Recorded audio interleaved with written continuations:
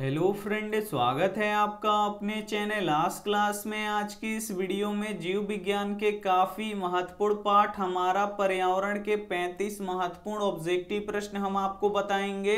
ये जो 35 ऑब्जेक्टिव प्रश्न है, ये आपके बोर्ड परीक्षा के लिए काफ़ी महत्वपूर्ण है। तो एक भी प्रश्न आप लोग स्किप मत कीजिएगा। वीडियो को प्लीज़ आप लोग शुरू से लेके अंत तक देखिएगा। और इस 35 ऑब्जेक्टिव प्रश्न में से जो भी प्रश्न आपको याद ना हो तो प्लीज़ आप लोग उसे नोटबुक पे लिख के ज़रूर याद कर लीजिएगा।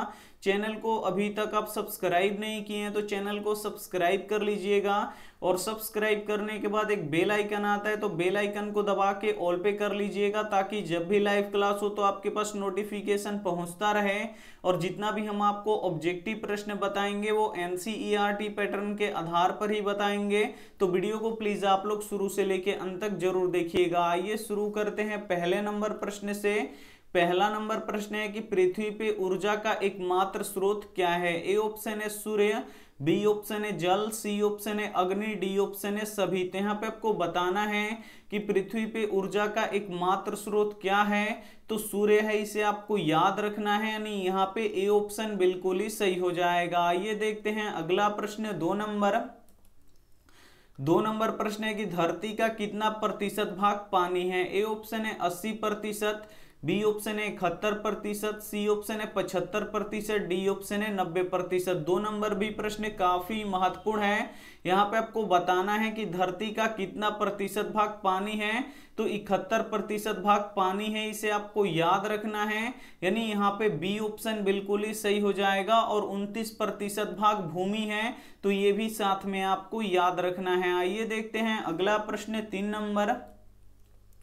तीन नंबर प्रश्न है कि वायुमंडल का कितना प्रतिशत भाग नाइट्रोजन गैस है? ए ऑप्शन है अठहत्तर प्रतिशत, बी ऑप्शन है सत्तर प्रतिशत, सी ऑप्शन है पचहत्तर प्रतिशत, डी ऑप्शन है नब्बे प्रतिशत। यहाँ पे आपको बताना है कि वायुमंडल का कितना प्रतिशत भाग नाइट्रोजन गैस है? तो 78 प्रतिशत भाग नाइट्रोजन गैस है, इसे आपको याद रखना है।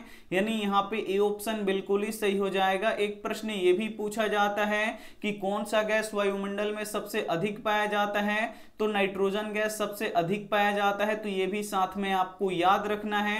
काफ़ी महत्वपूर्ण महत्वपूर्ण पैंतीस ऑब्जेक्टिव प्रश्न है तो एक भी प्रश्न आप लोग स्किप मत कीजिएगा। वीडियो को प्लीज़ आप लोग शुरू से लेके अंत तक देखिएगा। और इसमें से जो भी प्रश्न आपको याद ना हो तो प्लीज़ आप लोग उसे नोटबुक पे लिख के ज़रूर याद कर लीजिएगा। आइए देखते हैं अगला प्रश्न, चार नंबर। चार नंबर प्रश्न है कि वर्षा जल का संचयन क्या कहलाता है? ए ऑप्शन है तालाब बी ऑप्शन है कुआँ, सी ऑप्शन है जल प्रबंधन, डी ऑप्शन है इनमें से कोई नहीं। यहाँ पे आपको बताना है कि वर्षा जल का संचयन क्या कहलाता है। तो जल प्रबंधन कहलाता है, इसे आपको याद रखना है, यानी यहाँ पे सी ऑप्शन बिल्कुल ही सही हो जाएगा। ये देखते हैं अगला प्रश्न, पाँच नंबर। पाँच नंबर प्रश्न है कि प्रकृति में ऑक्सीजन का संतुलन कैसे बना रहता है। ए ऑप्शन है संयोजन क्रिया के द्वारा, बी ऑप्शन है प्रकाश संश्लेषण के द्वारा सी ऑप्शन है अपघटन के द्वारा डी ऑप्शन है इनमें से कोई नहीं। यहाँ पे आपको बताना है कि प्रकृति में ऑक्सीजन का संतुलन कैसे बना रहता है। तो प्रकाश संश्लेषण के द्वारा बना रहता है, इसे आपको याद रखना है। यानी यहाँ पे बी ऑप्शन बिल्कुल ही सही हो जाएगा। जितने भी जीव जंतु हैं, वो श्वसन में ऑक्सीजन ग्रहण करते हैं और कार्बन डाइऑक्साइड छोड़ते हैं और पेड़ पौधे क्या करते हैं? प्रकाश संश्लेषण की क्रिया में इस कार्बन डाइऑक्साइड को ग्रहण करते हैं और ऑक्सीजन को छोड़ते हैं तो ऐसे ही प्रकृति में ऑक्सीजन का संतुलन बना रहता है। तो यहाँ पे बी ऑप्शन बिल्कुल ही सही हो जाएगा। वीडियो को लाइक नहीं किए तो प्लीज़ आप लोग वीडियो को लाइक भी कर दीजिएगा। आइए देखते हैं अगला प्रश्न, छह नंबर। छह नंबर प्रश्न है कि छह योग्य प्राकृतिक संसाधन है। ए ऑप्शन है कोयला। बी ऑप्शन है पेट्रोलियम, सी ऑप्शन है प्राकृतिक गैस, डी ऑप्शन है सभी। यहाँ पे आपको बताना है कि छह योग्य यानी खत्म होने योग्य प्राकृतिक संसाधन कौन है? तो कोयला भी है, पेट्रोलियम भी है और प्राकृतिक गैस भी है। यानी ये जो तीनों है, ये छह योग्य प्राकृतिक संसाधन है। यानी यहाँ पे डी ऑप्शन बिल्कुल ही सही हो जाएगा। आइए देखते हैं अगला प्रश्न, सात नंबर। सात नंबर प्रश्न है कि प्राकृतिक संसाधन है। ए ऑप्शन है वन, बी ऑप्शन है जल, सी ऑप्शन है कोयला, डी ऑप्शन है सभी। यहाँ पे आपको बताना है कि प्राकृतिक संसाधन है। तो जो वन है, ये भी प्राकृतिक संसाधन है। जो जल है, ये भी प्राकृतिक संसाधन है। और जो कोयला है, ये भी क्या है, प्राकृतिक संसाधन है। यानी ये तीनों क्या है, प्राकृतिक संसाधन है। इसीलिए यहाँ पे डी ऑप्शन बिल्कुल ही सभी यहाँ पे क्या हो जाएगा, सही हो जाएगा। ये देखते हैं अगला प्रश्न, आठ नंबर।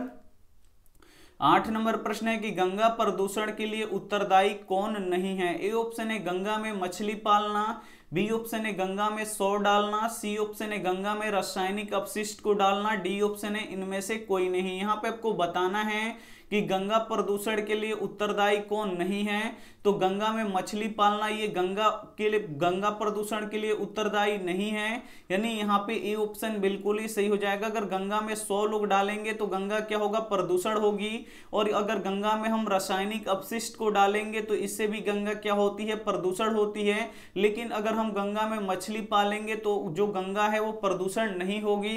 यानी यहाँ पे ए ऑप्शन बिल्कुल ही सही हो जाएगा। ये देखते हैं अगला प्रश्न नौ नंबर। नौ नंबर प्रश्न है कि निम्न में से सबसे ऊँचा बाँध कौन है? ए ऑप्शन है टिहरी बाँध, बी ऑप्शन है भाखड़ा बाँध, सी ऑप्शन है दोनों, डी ऑप्शन है इनमें से कोई नहीं। यहाँ पे आपको बताना है कि निम्न में से सबसे ऊँचा बाँध कौन है? तो टिहरी बाँध सबसे ऊँचा बाँध है, इसे आपको याद रखना है। यानी यहाँ पे ए ऑप्शन बिल्कुल ही सही हो जाएगा। एक प्रश्न ये भी पूछा जाता है कि टिहरी बाँध किस नदी पे है? तो भागीरथी नदी पर है तो ये भी साथ में आपको याद रखना है। आइए देखते हैं अगला प्रश्न, दस नंबर। दस नंबर प्रश्न है कि स्वच्छ जल का पीएच मान होता है। ए ऑप्शन है सात, बी ऑप्शन है सात से कम, सी ऑप्शन है सात से अधिक, डी ऑप्शन है शून्य। तो यहाँ पे आपको बताना है कि स्वच्छ जल का पीएच मान होता है तो स्वच्छ जल का पीएच मान कितना होता है? तो सात होता है, इसे आपको याद रखना है यानी यहाँ पे ए ऑप्शन बिल्कुल ही सही हो जाएगा। अगर किसी विलियन का पीएच मान सात से कम होगा तो वो अम्लीय होगा तो ये भी आपको याद रखना है। और अगर किसी विलियन का पीएच मान सात से अधिक होगा तो वो क्षारीय होगा तो ये भी साथ में आपको याद रखना है। आइए देखते हैं अगला प्रश्न, ग्यारह नंबर। ग्यारह नंबर प्रश्न है कि पर्यावरण दिवस कब मनाया जाता है? ए ऑप्शन है पाँच जून को, बी ऑप्शन है सत्रह नवंबर को, सी ऑप्शन है एक मई को, डी ऑप्शन है आठ जनवरी को। यहाँ पे आपको बताना है कि पर्यावरण दिवस कब मनाया जाता है? तो पर्यावरण दिवस पाँच जून को मनाया जाता है, इसे आपको याद रखना है। यानी यहाँ पे ए ऑप्शन बिल्कुल ही सही हो जाएगा। काफ़ी महत्वपूर्ण महत्वपूर्ण पैंतीस ऑब्जेक्टिव प्रश्न है। तो एक भी प्रश्न आप लोग स्कीप मत कीजिएगा। वीडियो को प्लीज़ आप लोग शुरू से लेके अंत तक देखिएगा। और इसमें से जो भी प्रश्न आपको याद ना हो तो प्लीज़ आप लोग उसे नोटबुक पे लिख के ज़रूर याद कर लीजिएगा। और वीडियो को लाइक नहीं किए हैं तो प्लीज़ आप लोग वीडियो को लाइक भी कर दीजिएगा। ये देखते हैं अगला प्रश्न। बारह नंबर बारह नंबर प्रश्न है कि चिपको आंदोलन के अग्रणी नेता कौन है? ए ऑप्शन है सुंदरलाल बहुगुणा, बी ऑप्शन है ए के बनर्जी, सी ऑप्शन है अमृता देवी विष्णोई डी ऑप्शन है बाबा आमटे। तो यहाँ पे आपको बताना है कि चिपको आंदोलन के अग्रणी नेता कौन है? तो सुंदरलाल बहुगुणा है, इसे आपको याद रखना है, यानी यहाँ पे ए ऑप्शन बिल्कुल ही सही हो जाएगा। आइए देखते हैं अगला प्रश्न, तेरह नंबर। तेरह नंबर प्रश्न है कि वे पदार्थ जो जैविक प्रक्रम द्वारा अपघटित हो जाते हैं, उसे क्या कहते हैं? ए ऑप्शन है जैव निम्नकरणीय, बी ऑप्शन है अजैव निम्नकरणीय, सी ऑप्शन है अक्रिय, डी ऑप्शन है पर्यावरण। तेरह नंबर प्रश्न काफ़ी महत्वपूर्ण है। यहाँ पे आपको बताना है कि वे पदार्थ जो जैविक प्रक्रम द्वारा अपघटित हो जाते हैं, यानी सड़ गल जाते हैं, उसे क्या कहते हैं? तो उसे जैव निम्न करणीय कहते हैं। इसे आपको याद रखना है। यानी यहाँ पे ए ऑप्शन बिल्कुल ही सही हो जाएगा और अजैव निम्न करणीय किसे कहते हैं? तो वे पदार्थ जो जैविक प्रक्रम द्वारा अपघटित नहीं होते हैं, उसे अजैव निम्न करणीय कहते हैं। तो ये ये भी साथ में आपको याद रखना है। आइए देखते हैं अगला प्रश्न चौदह नंबर। चौदह नंबर प्रश्न है कि वन संरक्षण का उपाय है। ए ऑप्शन है नए वृक्षारोपण।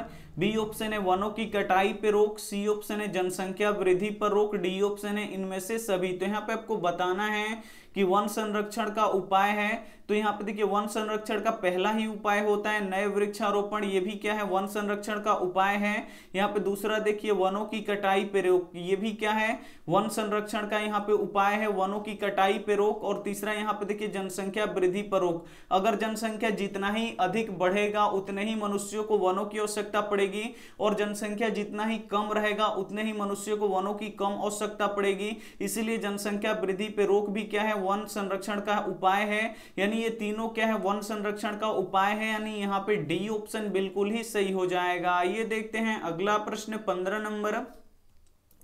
पंद्रह नंबर प्रश्न है कि निम्न में से कौन जैव अनिम्नकरणीय पदार्थ है? ए ऑप्शन है प्लास्टिक बी ऑप्शन है कागज़, सी ऑप्शन है वाहित मल, डी ऑप्शन है इनमें से कोई नहीं। यहाँ पे आपको बताना है कि निम्न में से कौन जैव अनिम्नकरणीय पदार्थ है, यानी यहाँ पे आपको बताना है कि वो कौन सा पदार्थ है, वो जो सड़ता गलता नहीं है तो जो प्लास्टिक होता है, ये कितने समय तक रख दीजिए, ये क्या होगा, सड़ेगा, गलेगा नहीं, यानी यहाँ पे ए ऑप्शन बिल्कुल ही सही हो जाएगा। ये देखते हैं अगला प्रश्न, सोलह नंबर।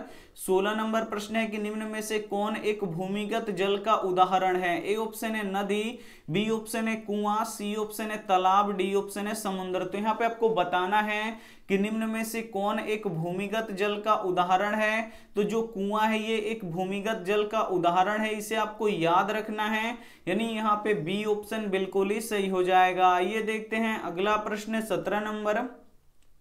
सत्रह नंबर प्रश्न है कि निम्न में से कौन सा स्वच्छ ईंधन है? इसमें से आपको बताना है कि कौन सा स्वच्छ ईंधन है? ए ऑप्शन है कोयला बी ऑप्शन है लकड़ी सी ऑप्शन है प्राकृतिक गैस डी ऑप्शन है इनमें से सभी। तो यहाँ पे आपको बताना है कि निम्न में से कौन स्वच्छ ईंधन है, यानी वे ईंधन, स्वच्छ ईंधन किसे कहते हैं? तो वे ईंधन जिसका उष्मीय मान अधिक हो और उसे जलाने पे या दहन करने पे बहुत ही कम मात्रा में प्रदूषण निकले, उसे हम स्वच्छ ईंधन या अच्छा ईंधन कहते हैं। तो यहाँ पे जो प्राकृतिक गैस है, ये क्या है? स्वच्छ ईंधन है, इसे आपको याद रखना है। यानी यहाँ पे सी ऑप्शन बिल्कुल ही सही हो जाएगा। ये देखते हैं अगला प्रश्न 19 नंबर।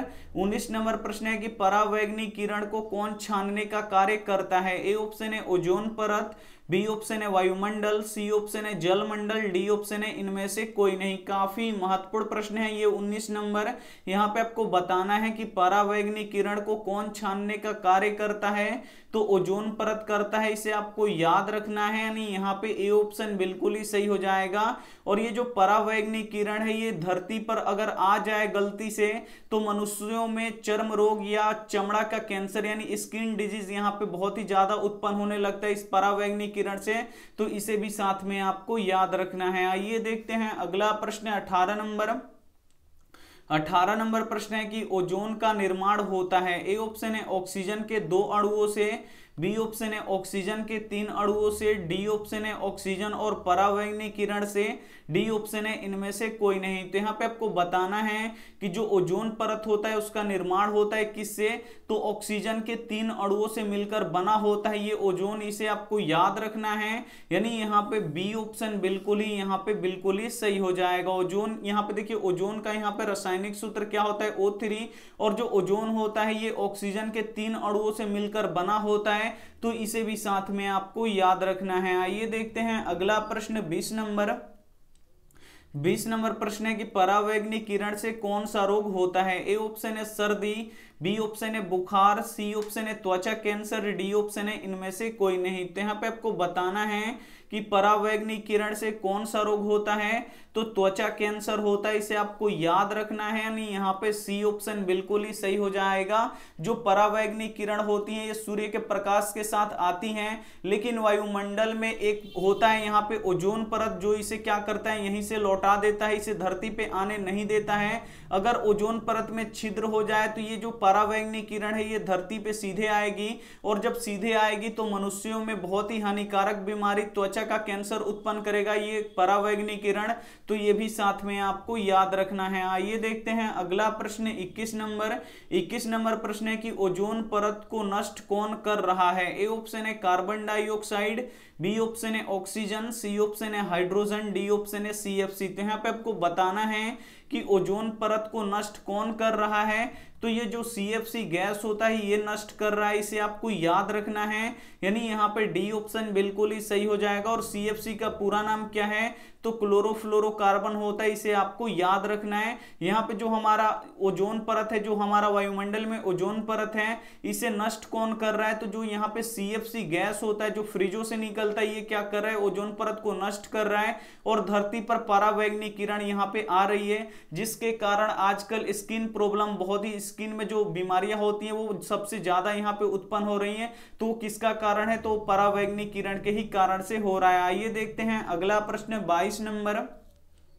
बाईस नंबर प्रश्न है कि सीएफसी का व्यापक उपयोग किसमें होता है? ए ऑप्शन है एयर कंडीशनरों में बी ऑप्शन है रेफ्रिजरेटरों में सी ऑप्शन है इंजनों में डी ऑप्शन है इनमें से सभी में। तो यहाँ पे आपको बताना है कि जो क्लोरोफ्लोरोकार्बन है, इसका व्यापक उपयोग किसमें होता है? तो एयर कंडीशनरों में भी होता है रेफ्रिजरेटरों में भी होता है और इंजनों में भी होता है। यानी इन तीनों में होता है, यानी यहाँ पे डी ऑप्शन बिल्कुल ही सही हो जाएगा। और सीएफसी गैस किसे हानि पहुंचाता है? तो जो ओजोन परत होता है, उसको ये नष्ट करने का कार्य करता है। और जो ओजोन परत होता है, ये क्या करता है? जो परावैग्निक किरण आती है, इसे छानने का कार्य करता है। तो ये भी साथ में आपको याद रखना है। आइए देखते हैं अगला प्रश्न, तेईस नंबर। तेईस नंबर प्रश्न है कि सीएफसी क्या है? तो हम आपको बता चुके हैं सीएफसी का पूरा नाम होता है क्लोरोफ्लोरोकार्बन इसे आपको याद रखना है और ये प्रश्न बोर्ड परीक्षा में बहुत बार पूछा गया है कि सीएफसी है या सीएफसी का पूरा नाम क्या है? तो क्लोरोफ्लोरोकार्बन होता है, इसे आपको याद रखना है। यानी यहाँ पे ए ऑप्शन बिल्कुल ही सही हो जाएगा। ये देखते हैं अगला प्रश्न, चौबीस नंबर। चौबीस नंबर प्रश्न है कि ओजोन के एक अणु में कितने परमाणु होते हैं? ए ऑप्शन है एक, बी ऑप्शन है दो, सी ऑप्शन है तीन, डी ऑप्शन है चार। तो यहाँ पे आपको बताना है कि ओजोन के एक अणु में कितने परमाणु होते हैं तो तीन परमाणु होते हैं, इसे आपको याद रखना है। यानी यहाँ पे सी ऑप्शन बिल्कुल ही सही हो जाएगा। काफ़ी महत्वपूर्ण महत्वपूर्ण पैंतीस ऑब्जेक्टिव प्रश्न है। तो एक भी प्रश्न आप लोग स्किप मत कीजिएगा। वीडियो को प्लीज़ आप लोग शुरू से लेके अंत तक देखिएगा। और इसमें से जो भी प्रश्न आपको याद ना हो तो प्लीज़ आप लोग उसे नोटबुक पे लिख के ज़रूर याद कर लीजिएगा। और वीडियो को लाइक नहीं किए हैं तो प्लीज़ आप लोग वीडियो को लाइक भी कर दीजिएगा। आइए देखते हैं अगला प्रश्न, यहाँ पे पच्चीस नंबर।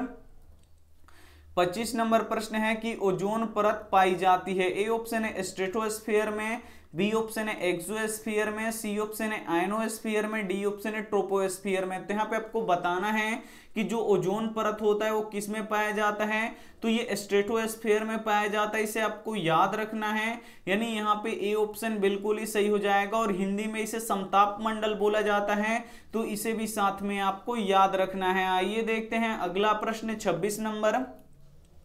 छब्बीस नंबर प्रश्न है कि अंटार्कटिका के ऊपर ओजोन स्तर में आई कमी को क्या कहा जाता है? काफ़ी महत्वपूर्ण प्रश्न है।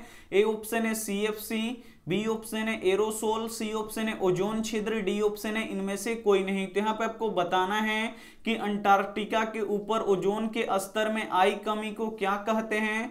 तो ओजोन छिद्र कहते हैं, इसे आपको याद रखना है। यानी यहाँ पे सी ऑप्शन बिल्कुल ही सही हो जाएगा। ये देखते हैं अगला प्रश्न, सताइस नंबर। सताइस नंबर प्रश्न है कि निम्न में से कौन उत्पादक है? काफ़ी महत्वपूर्ण प्रश्न है ये आपके बोर्ड परीक्षा के लिए कि निम्न में से कौन उत्पादक है। ए ऑप्शन है सर्प, बी ऑप्शन है मेढक, सी ऑप्शन है ग्रास होपर डी ऑप्शन है घास। तो यहाँ पे आपको बताना है कि निम्न में से कौन उत्पादक है। तो जो घास होता है, ये उत्पादक होता है, इसे आपको याद रखना है। यानी यहाँ पे डी ऑप्शन बिल्कुल ही सही हो जाएगा। ये देखते हैं अगला प्रश्न 28 नंबर। 28 नंबर प्रश्न है कि परिस्थितिक तंत्र में ऊर्जा का प्रवाह होता है। ए ऑप्शन है एक दिशीय बी ऑप्शन है द्विदिशीय सी ऑप्शन है बहुदिशीय डी ऑप्शन है, इनमें से कोई नहीं। यहाँ पे आपको बताना है कि परिस्थितिक तंत्र में ऊर्जा का प्रवाह होता है तो एक दिशीय होता है, इसे भी आपको याद रखना है, काफ़ी महत्वपूर्ण प्रश्न है। यहाँ पे ए ऑप्शन बिल्कुल ही सही हो जाएगा। ये देखते हैं अगला प्रश्न, उनतीस नंबर। उनतीस नंबर प्रश्न है कि पर्यावरण के अंतर्गत आते हैं। ए ऑप्शन है जलमंडल बी ऑप्शन है स्थल मंडल, सी ऑप्शन है वायुमंडल, डी ऑप्शन है इनमें से कोई नहीं। तो यहाँ पे आपको बताना है कि पर्यावरण के अंतर्गत आते हैं तो पर्यावरण के अंतर्गत जल मंडल भी आता है स्थल मंडल भी आता है, वायुमंडल भी आता है, यानी ये तीनों आते हैं। यानी यहाँ पे यहाँ पे क्या हो जाएगा? इनमें से सभी क्या हो जाएगा? यहाँ पे बिल्कुल ही सही हो जाएगा। यहाँ पे इनमें से सभी क्या हो जाएगा? बिल्कुल ही सही हो जाएगा। यानी यहाँ पे डी ऑप्शन बिल्कुल ही सही हो जाएगा। ये देखते हैं अगला प्रश्न, तीस नंबर। तीस नंबर प्रश्न है कि निम्न में से कौन आहार श्रृंखला का निर्माण करते हैं? ए ऑप्शन है घास गेहूँ और बकरी, सी ऑप्शन है घास, हिरण और बाघ, सी ऑप्शन है बकरी, घास, मनुष्य, डी ऑप्शन है इनमें से कोई नहीं। तो यहाँ पे आपको बताना है कि निम्न में से कौन आहार श्रृंखला का निर्माण करते हैं?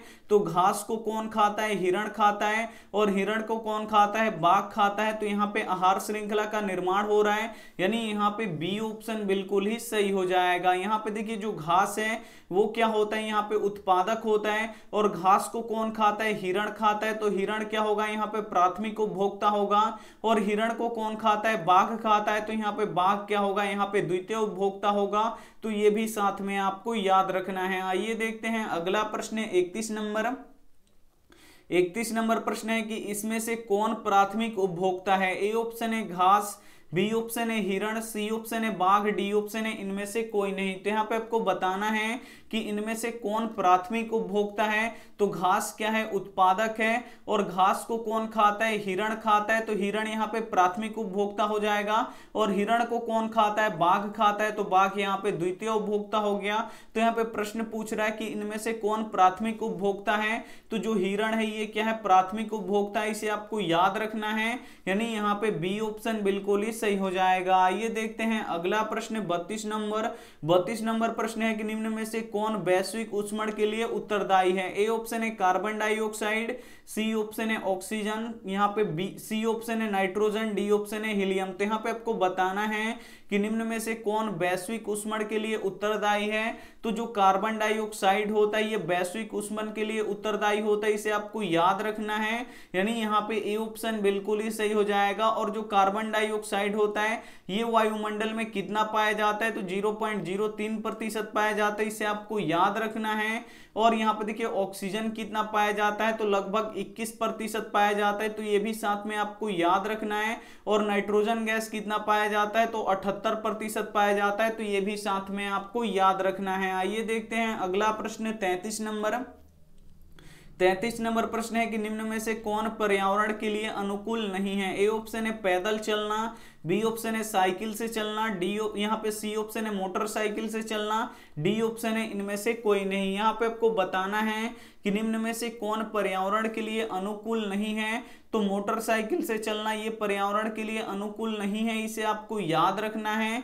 यानी यहाँ पे सी ऑप्शन बिल्कुल ही सही हो जाएगा। ये देखते हैं अगला प्रश्न, चौंतीस नंबर। चौतीस नंबर प्रश्न है कि सरदार सरोवर बाँध किस नदी पर स्थित है? ए ऑप्शन है यमुना नदी पर, बी ऑप्शन है नर्मदा नदी पर, सी ऑप्शन है ताप्ती नदी पर, डी ऑप्शन है सतलुज नदी पर। यहाँ पे आपको बताना है कि सरदार सरोवर बाँध किस नदी पर स्थित है? तो जो सरदार सरोवर बाँध है, ये नर्मदा नदी पर स्थित है, इसे आपको याद रखना है। यानी यहाँ पे बी ऑप्शन बिल्कुल ही सही हो जाएगा। ये देखते हैं अंतिम प्रश्न, पैंतीस नंबर। पैंतीस नंबर प्रश्न है कि उत्पादक भोजन बनाने के लिए क्या करते हैं? ए ऑप्शन है प्रकाश संश्लेषण बी ऑप्शन है श्वसन सी ऑप्शन है वात्पोत्सर्जन डी ऑप्शन है इनमें से कोई नहीं। तो यहाँ पे आपको बताना है कि जो उत्पादक होते हैं, यानी जो हरे पेड़ पौधे होते हैं, वो भोजन बनाने के लिए क्या करते हैं? तो प्रकाश संश्लेषण की क्रिया करते हैं, इसे आपको याद रखना है। यहाँ पे ए ऑप्शन बिल्कुल ही सही हो जाएगा। यहाँ पे हम आपको 35 ऑब्जेक्टिव प्रश्न बता चुके हैं, जो आपके बोर्ड परीक्षा के लिए काफ़ी महत्वपूर्ण है। तो अगर इसमें से जो भी प्रश्न आपको याद ना हो तो प्लीज़ आप लोग उसे नोटबुक पे लिख के याद कर लीजिएगा और उसका समय समय पे आप लोग रिवीजन करते रहिएगा। यहाँ पे बहुत दिन बाद हम यहाँ पे क्लास ले रहे हैं। इस क्या हो गया था? हमारा तबीयत थोड़ा सा खराब हो गया था, इसीलिए यहाँ पे हम क्लास नहीं ले पा रहे थे। अब से आपका यहाँ पे सुबह में पाँच बजे भी क्लास चलेगा आज और यहाँ पे डेली शाम सात बजे यहाँ पे क्लास चलेगा। तो यहाँ पे डेली शाम सात बजे क्लास चलेगा। तो ये दोनों ही क्लास आप लोग कीजिए। यहाँ पे जो सुबह में पाँच बजे क्लास होगा, वो सब्जेक्टिव का होगा और जो शाम में सात बजे क्लास होगा, वो ऑब्जेक्टिव का होगा। तो प्लीज़ आप लोग क्लास में जुड़िए और आप लोग क्लास करते रहिए। और ये रहा आपके लिए होमवर्क प्रश्न। इसका जवाब आपको कमेंट बॉक्स में देना है कि मानव के हृदय में कितने कोष्ठ होते हैं? ए ऑप्शन है दो बी ऑप्शन है आठ सी ऑप्शन है एक डी ऑप्शन है चार। और ये प्रश्न को हम आपको पढ़ा चुके हैं तो प्लीज़ आप लोग गलत आंसर मत दीजिएगा कि मानव के हृदय में कितने कोष्ठ होते हैं। ज़रूर हमें कॉमेंट करके बताइएगा अगर आपका जवाब सही है। तो हम आपके कॉमेंट का रिप्लाई ज़रूर देंगे। वीडियो को लाइक नहीं किए तो प्लीज़ आप लोग वीडियो को लाइक कीजिए, अपने दोस्तों के पास इस वीडियो को ज़रूर शेयर कीजिए। चैनल को अभी तक आप सब्सक्राइब नहीं किए तो चैनल को सब्सक्राइब करके साथ में बेल आइकन को ऑल पे दबा लीजिए, ताकि जब भी लाइव क्लास हो तो आपके पास नोटिफिकेशन पहुँचता रहे। थैंक यू फॉर वॉचिंग मिलते हैं अगले वीडियो में। तब तक अपना ध्यान रखिए, मन लगा के पढ़ाई कीजिए। Take care and bye